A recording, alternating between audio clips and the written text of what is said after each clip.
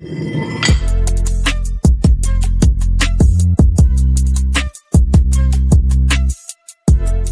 up, guys? It's Carter, and I'm back with another video. And today is the first week back from my deload week, which was my vacation. So, no lifting at all that week. Um, so, you know what that means. There's going to be a lot of soreness this week, and there was plenty of it to go around. Uh, four workouts this week, as usual. Uh, most of it's the same, but we got a couple different variations. So, we started off with a bench press, and I was going for it. You know, usually when I come off a deload, I'm pretty strong, and 315 gets stuck right there in the middle, wasted. so it was a little ambitious there. Um, probably should have. I worked up to I think to 270 before that, and uh, rather than making another incremental jump, I said, you know what? I think I got 315 today, and I didn't. So, you know, I try not to miss lifts like that. But uh, it's all right. We'll be getting 315 soon enough. Now that the cut is over and we're upping the calories, I can start progressing on my lifts again. So uh, we did some back off work with the Buffalo bar, uh, three sets of 10 here at 180. Just getting a nice stretch on the pec because I failed that lift uh, mid lift there. That's going to be pec. Um, I felt my delts try to jump in and and compensate for my weak chest. And uh, even they couldn't help the weak chest. So we got to thicken up these pecs and keep it moving so we can get that 315 bench. I have yet to hit a 315. I hit 310, but 315 is the PR I'm going for in the near future. I did some pull downs there with the Lever Gym and the um, Prime Fitness handles. Then we moved on to some dumbbell rows. Uh, we did three sets of the lever gym pull downs and three sets of the uh, dumbbell rows. This is something new coaches added in. We were doing the dumbbell rows on lower days, uh, but he added them into the upper days and just cut the the sets down to three.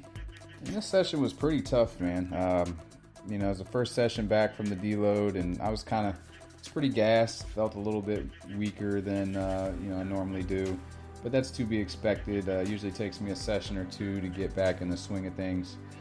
Uh, grip was wanting to fail me on those uh, dumbbell rows.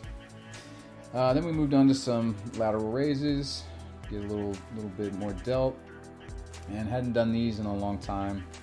Uh, coach threw them in, and but I do like them. Always like lateral raises hit that side delt pretty good. And I think I'm using 25s there, so pretty light. And we moved on to the band press downs as usual, but this time I did something a little different. I attached the uh, the Lever Gym short bar that goes with the cable system. Uh, I used a carabiner and attached it to the band for the band press downs, and I liked it. A little bit of a different um, variation than what I've been doing by just grabbing the each end of the band with my hand. So I'll probably be doing those for a few weeks, and uh, it did hit the triceps pretty well. And then max effort lower day, we moved on to some just regular back squat, and I upped these about 20 pounds from my last time I did back squats, and it moved pretty well. It was challenging, but wasn't uh, I wasn't in danger of failing that rep or anything. But I called it there. Um, I really spent a lot of time uh, warming up for that session. Um, and low back felt really good, so I was happy about that. I actually did a set of reverse hypers to begin the session, and I think I'm going to do that from for lower days from now on. Um, just throw one of the sets in the beginning just to get some blood in the low back and glutes. Um, so we'll roll with that going forward. Then we go on to some belt squats, and these were tough. like I said, these sessions right after the deload week are tough, and I didn't go up in weight or anything. These just were blasting my quads. So only three sets of those. Then we moved on to some glute ham raises, and these were rough too. And uh, did five sets of these. You can see I added some more flags to the wall. It was looking a little bare. I uh, went ahead and got a an Old Glory there, and also got a Rogue flag as well, just to fill up that blank space. And then we moved on to some reverse hypers to end the session like we usually do, and up these 10 pounds actually. So I kind of made up for the deload week, and uh, they were feeling good.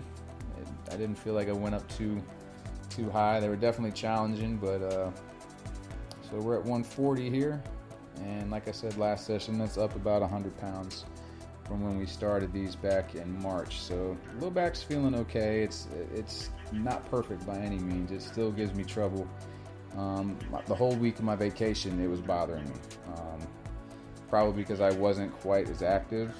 Um, when I tend to lay around a little bit, you know, like binge watch TV and stuff like that, it uh, it tends to get kind of aggravated with me. So movement is medicine. I'm usually moving around, doing a lot of stuff, and uh, and that week I really wasn't that much. So anyway, on to some speed work, uh, speed bench. We got some uh, close, medium, and wide grip speed bench using 80 pounds of bands and 80 pounds of bar weight.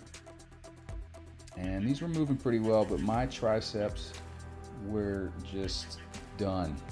they, they, were so sore from uh, max effort upper day. Um, they were just killing me. I was they started cramping up as soon as I started doing these, trying to be explosive. It was uh, my triceps haven't been that sore in a long time. My triceps never get sore, honestly.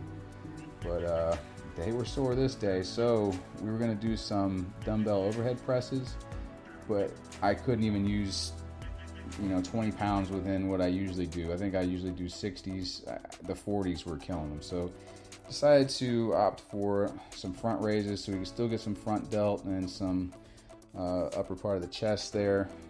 Um, so yeah, went with the front raises. Those felt pretty good, and then moved on to some more uh, pull downs, and these felt pretty good. Felt a little stronger than uh, the last session.